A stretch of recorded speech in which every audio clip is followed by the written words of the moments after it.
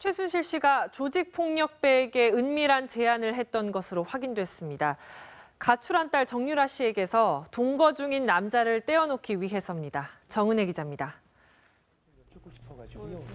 최순실 씨가 딸 정유라 씨의 문제와 관련해 조폭 간부를 찾아 상담한 것으로 알려졌습니다.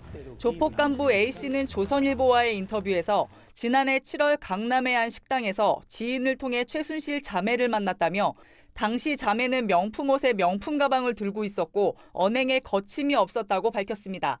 A 씨에 따르면 최 씨는 그 자리에서 딸이 집을 나가 남자친구와 동거 중인데 한 달에 2천만 원도 넘게 쓰면서 속을 썩인다며 온갖 수를 써봐도 헤어지게 할 방법이 없으니 당신이 떼어내달라고 요청했다고 폭로했습니다.